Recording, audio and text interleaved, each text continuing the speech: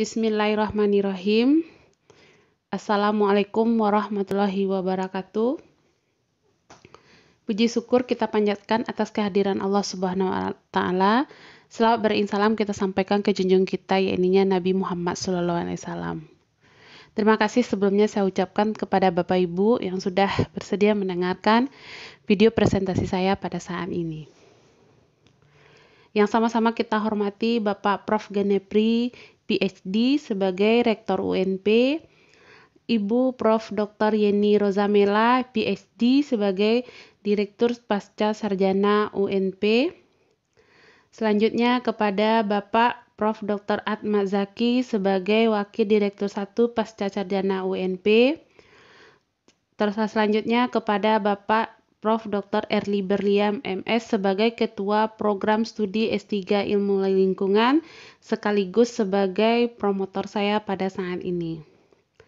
Teristimewa buat Ibu Prof. Dr. Nur Indrawati Liputo, PhD, sebagai penguji luar dan atau pembahas saya yang berasal dari Universitas Andalas Padang. Selanjutnya kepada Bapak ko-promotor saya yaitu Bapak Dr. Abdul Razak. Selanjutnya teristimewa kepada pembahas atau penguji saya yaitu Bapak Dr. Nuhasansah MPD dan Bapak Dr. Heldi. Baiklah, terima kasih atas perhatiannya Bapak Ibu. Saya lanjutkan dengan mempresentasikan hasil presentasi saya yang berjudul Dur Formulasi Kebijakan Lingkungan Kesehatan dalam Penanggulangan Dampak Kebakaran Hutan dan Lahan di Kota Payakumbuh. Latar belakang dari penelitian saya, lingkungan hidup kita mengalami banyak tekanan dikarenakan kegiatan-kegiatan manusia. Populasi manusia atau penduduk bertambah terus sehingga meningkatkan kebutuhan hidup manusia. Meningkatnya kebutuhan hidup manusia, terutama kebutuhan pangan, salah satunya berdampak kepada pembukaan lahan yang luas. Cara cepat dan ekonomis membuka lahan ini adalah membakar semak belukar.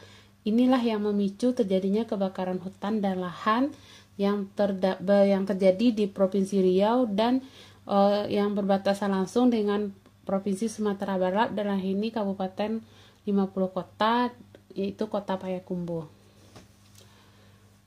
Dampak ke kesehatan kandungan asap da, uh, dapat kita lihat di sini pada uh, parameter yaitu PM10 yang berdampak pada um, saluran pernapasan yang menempel pada paru-paru.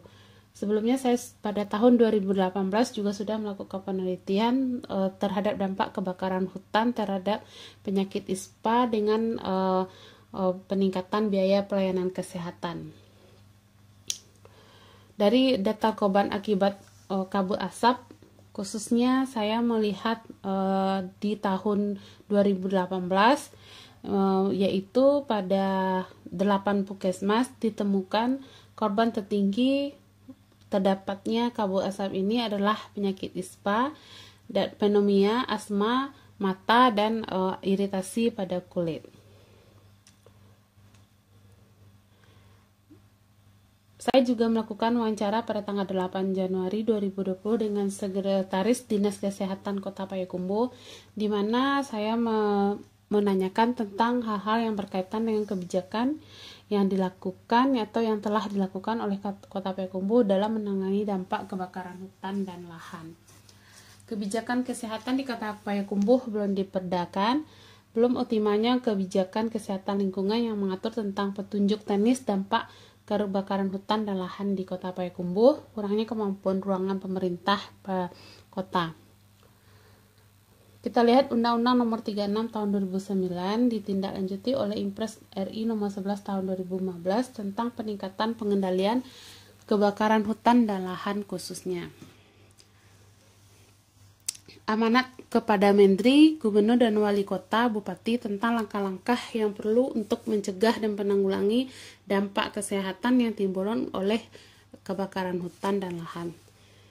Pada catatan kejadian kebakaran hutan dan lahan, sebenarnya ini sudah dimulai sejak tahun 97 dan sampai pada saat ini masih sering terjadi kebakaran hutan dan lahan yang ada di uh, Indonesia. Pemko perlu memikirkan dan membangun strategi dan solusi bagi setiap uh, stakeholder untuk menetapkan kebijakan kesehatan lingkungan yang efektif secara berkelanjutan untuk mencapai tingkat ketahanan bagi Pemko dan masyarakat dalam mitigasi kebakaran hutan dan lahan di daerahnya.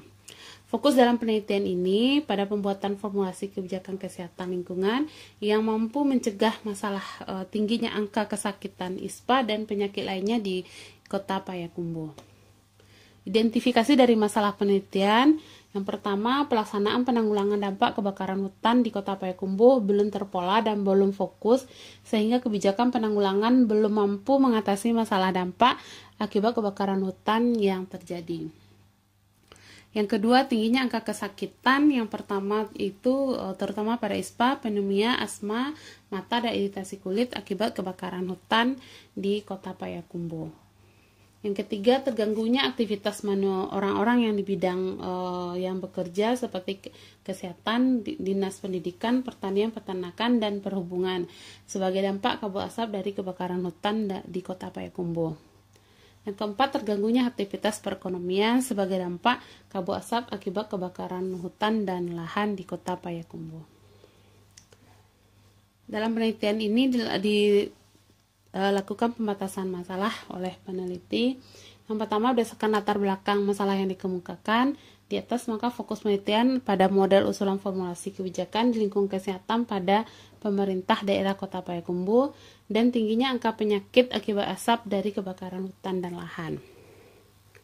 Pada pembuatan usulan kebijakan ini perlu dilibatkan pemerintah daerah setempat seperti Dinas Kesehatan, Dinas Lingkungan Hidup, Dinas Pendidikan, Dinas Pertanian dan Peternakan serta Dinas Perhubungan untuk pemangku kepentingan dan masyarakat yang terkena dampak. Bagaimana pemecahan masalah dampak kebakaran hutan dituangkan dalam formulasi kebijakan kesehatan lingkungan dalam rangka menurunkan dampak yang timbul oleh kabut asap di kota Payakumbuh. Pembuatan formulasi kebijakan yang efektif untuk mengatasi tingginya angka penyakit akibat dampak kebakaran hutan di kota Payakumbuh. Tujuan penelitian ada dua, yang pertama, menghasilkan pemecahan masalah dampak kebakaran hutan yang dituangkan dalam formulasi kebijakan kesehatan lingkungan dalam rangka menurunkan dampak yang timbulkan oleh kabut asap di kota Payakumbuh. Yang kedua, formulasi kebijakan tersebut dapat menanggulangi tingginya angka penyakit akibat dampak kabut asap. Tinjau dari pustaka, yang pertama uh, saya menggunakan ke, uh, siklus kebijakan ideal di sini untuk merumuskan kebijakan yang akan uh, diusulkan nantinya. Yang pertama kita lakukan uh, membuat agenda setting, setelah itu policy formulation, decision making, policy implementasi dari uh, formulasi, setelah itu dilakukan monitoring dan evaluasi. Yang kedua, saya melihat kesehatan lingkungan sebagai kebijakan pemerintah yaitu dengan menggunakan uh, segitiga segitiga kebijakan dari Wall and dan Gilson. Di sini saya melihat ada uh, contents, isi dan proses sehingga aktor yang berperan di dalamnya adalah masyarakat. Selanjutnya, formulasi kebijakan kesehatan lingkungan dalam rangka penanggulangan dampak kebakaran hutan ditinjau dari aspek ilmu lingkungan. Di sini kita melihat ada aspek ekonomi, ada uh, penambahan dari uh, pengobatan sehingga nanti munculnya dampak sosial dari uh, dampak kebakaran hutan dan lahan terhadap kesehatan sehingga dibutuhkannya formulasi kebijakan kesehatan lingkungan. Dan untuk melihat evaluasi kebijakan, saya menggunakan uh, teori Will and Dome yang di mana pengantar analisis kebijakan publik uh, di edisi tebetan edisi kedua. Di sini nanti kita akan melihat uh, persentase dari tipe kriteria uh, efektivitas, efisiensi, kecukupan, peralatan, responsif, dan ketepatan. Terus yang selanjutnya dampak kebakaran hutan dan lahan, saya melihat uh, nanti untuk itu sebagai penunjang di dalam pembahasan uh, pengertian dampak terus terhadap reka-reka agama hati dan lingkungan kesehatan. Selanjutnya uh, saya juga uh, menuliskan atau mengambil beberapa 24 penelitian terdahulu yang sebelumnya yaitu termasuk dengan, dari penelitian saya sendiri, penelitian dari Prof. Heri Berlian dan uh, Bapak Abdul Razak. Kerangka pikir saya di sini dalam uh, kebakaran hutan, dampak dari kebakaran hutan dan lahan itu itu berdampak kepada masyarakat, pemerintah dan uh, swasta sebagai lembaga swadaya masyarakat yang berperan nantinya itu yang kita melihat di sini saya akan menganalisis kebutuhan dari uh, formulasi yang akan kita rumuskan. Nah, di sini kita juga akan melihat adanya uh, dampak dari kajian ekonomi, kajian ekologi dan kajian sosial. Uh, sehingga nanti pada saat uh, identifikasi sistem saya memunculkan permodelan uh, kualitatif di mana pemodelan kualitatif ini nanti akan mengeluarkan formulasi kebijakan kesehatan lingkungan dalam rangka penanggulangan dampak kebakaran hutan dan lahan dan dilakukan verifikasi dan validasi terhadap formulasi tersebut. Metodologi penelitian jenis penelitian saya adalah kuali kualitatif dan akan dilakukan juga kuantitatif untuk sebagai data penunjang. Lokasi penelitian saya melakukannya penelitian di Payakumbuh sudah uh, direncanakan 6 bulan uh, dari awal mulai uh, memasukkan uh, surat sampai saya mendapatkan data. Populasi dari penelitian saya adalah seluruh masyarakat di kota Payakumbuh yang terlibat pada dinas-dinas tertentu seperti dinas kesehatan, dinas pendidikan, Dinas Pertanian, Peternakan, dan Dinas Perhubungan. Untuk keinfomannya saya menggunakan lima uh, kepala dinas yang uh, sudah menjadikan sebuah uh, uh, saya sebelumnya. Metode dalam pengambilan sampel besar sampel untuk kebijakan adalah uh, 5 dari uh, orang uh, dinas tadi atau kayak responden untuk masyarakat dalam penelitian ini dirancang dengan menggunakan teknik dan sampling yang juga bekerja di uh, bagian dinas yang saya lihat sebelumnya. Instrumen yang digunakan dalam penelitian adalah saya menggunakan kuesioner dan daftar pertanyaan wawancara yang dibuat berdasarkan pedoman terlaksananya tentang formulasi tentang kebijakan dampak kebakaran hutan dan lahan. Eh, metode penelitian selanjutnya yaitu saya di sini untuk merumuskan uh, kebijakan saya menggunakan uh, siklus uh, kebijakan ideal di mana proses analisis kebijakan uh, dilakukan sebanyak lima tahap sehingga munculnya nanti uh, sebuah usulan kebijakan. Pada hasil di sini kita melihat uh, profil kota Payakumbuh. Kota Payakumbuh adalah wilayah terdekat dari uh, provinsi Riau yang di mana provinsi Riau merupakan uh, yang sering terjadinya kebakaran hutan dan lahan. Berdasarkan hasil yang sudah saya temukan, uh, saya mewawancarai dan mendapatkan hasil dalam uh, pelaksanaan langkah-langkah yang dilakukan oleh Dinas Kesehatan dalam penanggulangan uh, penanggulangan kebakaran hutan dan lahan. Dari 10 langkah yang dilakukan, saya mendapatkan uh, ada beberapa yang belum sesuai atau tidak uh, efektif atau efisien dalam pelaksanaannya.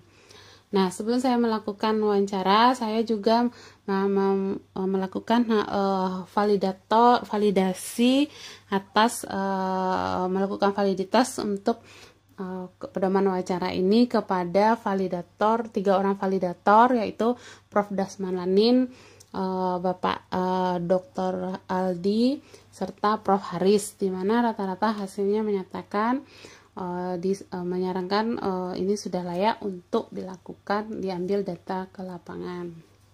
Hasil dan pembahasan dari teori analisis uh, segitiga dalam langkah-langkah yang sudah dilakukan oleh Dinas Kesehatan uh, Payakumbuh ada yang memadai dan tidak memadai.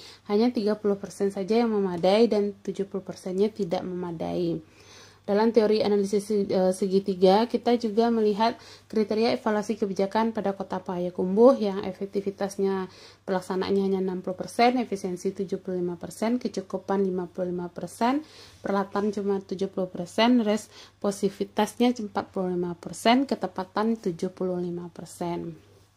Hasil dan pembahasan dari analisis kebijakan publik ditinjau dari ilmu lingkungan, di mana uh, formulasi kebijakan kesehatan uh, berdampak ke ekonomi, pembiayaan pelayanan kesehatan, ada ambang pencemaran udara, masalah kesehatan akibat kabut asap, uh, kebakaran hutan dan lahan, sehingga mempengaruhi uh, sosial dari masyarakat, sehingga diperlukan formula kebijakan kesehatan lingkungan.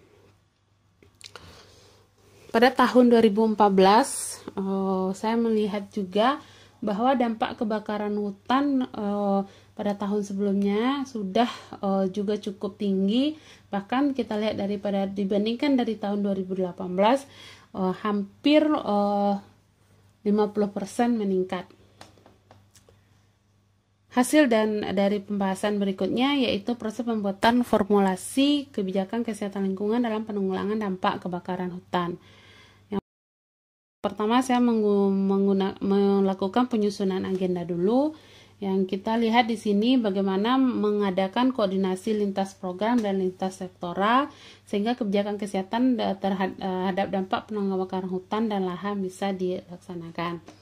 Untuk perumusan masalah, saya masih terdapatnya beberapa masalah yang dihadapi dalam proses penanggulangan dampak kebakaran dalam melakukan perencanaan, merumuskan formulasi kebijakan kesehatan dalam menanggulangi dampak kebakaran hutan dan lahan, untuk pelaksanaannya, proses penanganan masih uh, terpaku pada formalitas, kurangnya keseragaman pemahaman staf terhadap setiap langkah kerja yang dilakukan dalam penanganan masyarakat tidak sepenuhnya mendapatkan pelayanan karena over kapasitas adanya kerja yang job yang dilakukan oleh uh, petugas.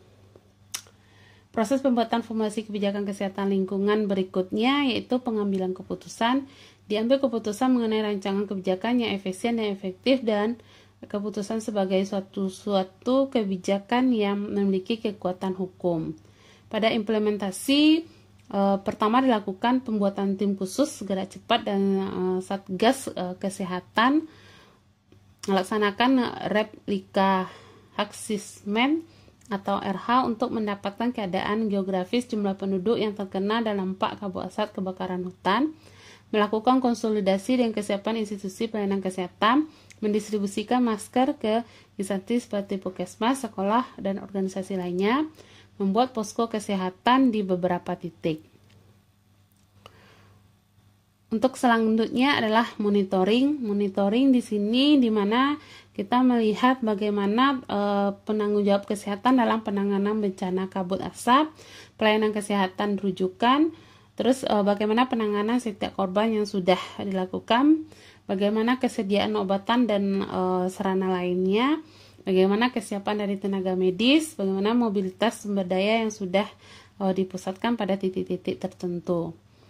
Untuk evaluasi uh, adanya penilaian terhadap penanggulangan dampak kebakaran hutan yang telah dilakukan oleh masing-masing penanggung jawab program sesuai dengan tingkat administrasi sehingga hasil akhirnya meningkatkan efisiensi dan efektivitas keberhasilan program.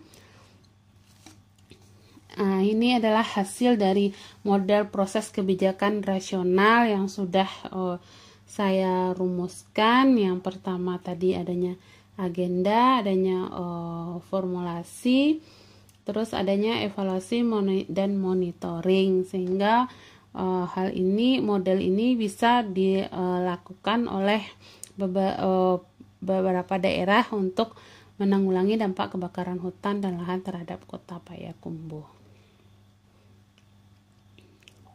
Selanjutnya eh, kita melihat di sini dari uh, pembahasan uh, Dinas Kesehatan Kota Payakumbuh terlihat belum terstruktur dalam dan belum siap dalam secara optimal dalam menghadapi dampak kebakaran hutan Uh, serta perlunya uh, seharusnya Kota Pengku sudah siap dalam segala sesuatu yang berkaitan dengan kesehatan karena dampak kebakaran hutan dan lahan ini sudah terjadi pada setiap tahunnya.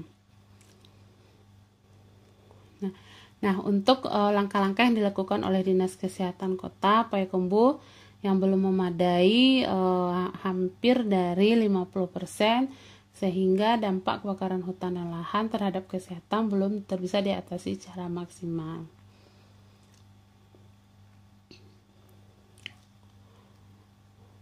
Pembahasan proses pembuatan formulasi kebijakan kesehatan lingkungan dalam penanggulangan dampak kebakaran hutan dan lahan.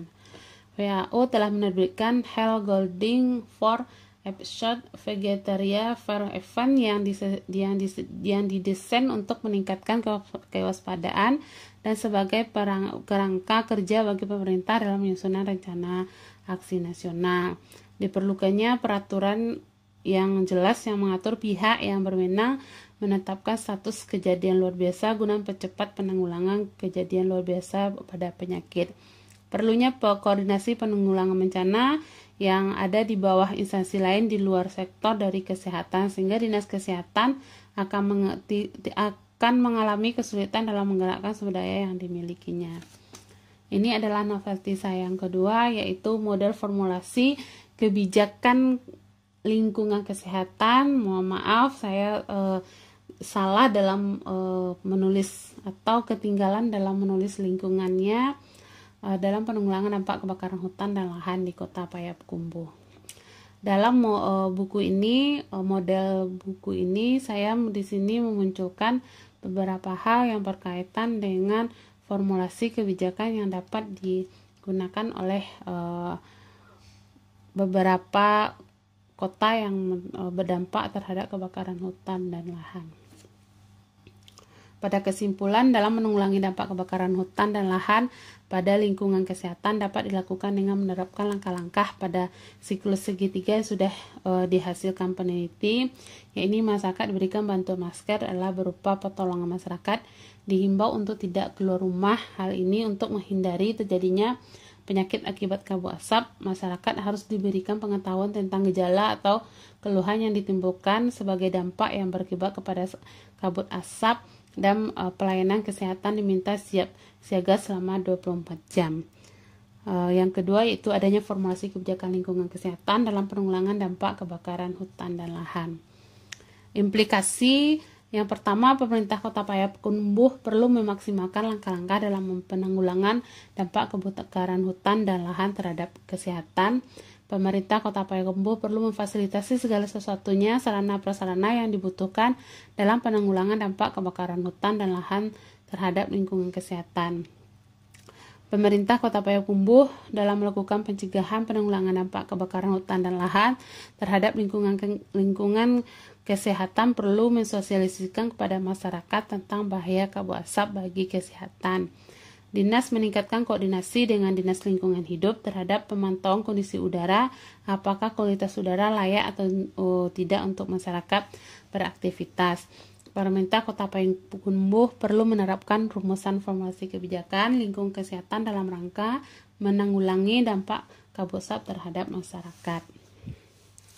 Saran yang pertama bagi pemerintah Kota Payakumbuh perlu meningkatkan kewaspadaan uh, wawasan pengetahuan tentang kebakaran yang sangat nyata berpengaruh untuk meningkatkan sektor kesehatan. Untuk meningkatkan pengetahuan warga, warga dalam pihak pemangku kepentingan terseudar kelompok tani, pangkat desa, pemberi pelayanan teknis, pemerintah daerah, pengambil kebijakan. Yang kedua itu dinas kesehatan. Dengan adanya formasi di atas, sehingga bisa diterapkan ketika terjadi kebakaran di kemudian hari. Dengan begitu, diharapkan pelaksanaan penanganan dampak kebakaran hutan sektor kesehatan akan lebih mudah, praktik, efektif, efisien sehingga masyarakat dapat lebih banyak tertolong dan terselamatkan. Yang ketiga, masyarakat yang terkena dampak, masyarakat dapat mengetahui bahaya kabut asap oleh kebakaran hutan dan lahan sehingga pada saat terjadinya kabut asap keanekaragaman hutan dan lahan masyarakat sudah bisa menjaga dan memberikan pertolongan pertama pada diri sendiri terutama menghindari e, dari kabut asap tersebut. Itu yang bisa saya dapat sampaikan pada hari ini. Terima kasih kepada Bapak Ibu yang sudah bersedia mendengarkan e, video saya ini. Assalamualaikum warahmatullahi wabarakatuh.